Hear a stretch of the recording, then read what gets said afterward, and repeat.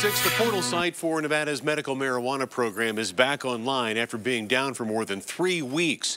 The site was taken down in December when it was revealed that it may have had some cybersecurity issues.